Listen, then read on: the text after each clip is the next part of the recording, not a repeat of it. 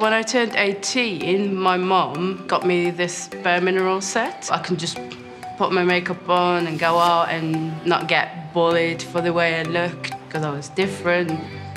That really, you know, made me feel, you know, very confident.